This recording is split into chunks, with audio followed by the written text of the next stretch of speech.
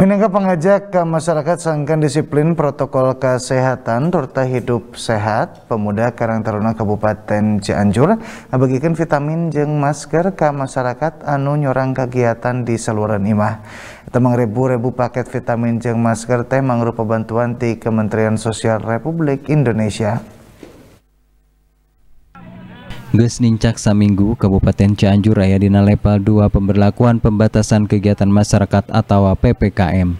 Semulogor dina sawatara sektor kegiatan tapi masyarakat tetap diperdi tuhu karena protokol kesehatan utamana nalika nyorang kegiatan di saluareun imah.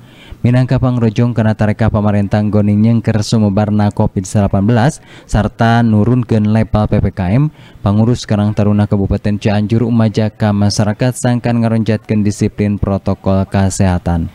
Salah sajina ku cara ngabagikan vitamin jeng masker ke masyarakat.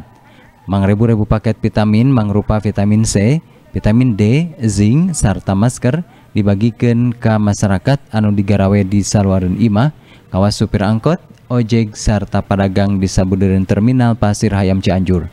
Di mana masker dan vitamin itu kurang lebih 1270 uh, eh, sudah kami terima dan kami sudah realisasikan.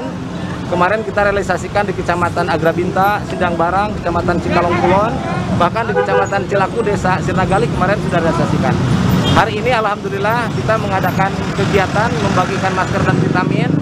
Kita tentunya berterima kasih Sosial Republik Indonesia yang sudah memberikan amanah kepada Karang Taruna Kabupaten Cianjur salah satunya dan ini sudah kita realisasikan.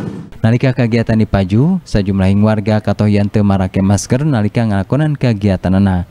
Para pemuda Karang Taruna Sarita ngabagikan masker tur mepelingan masyarakat sangkan tetap tuh karena protokol kesehatan sangkan kasing lartina sesalat COVID-19.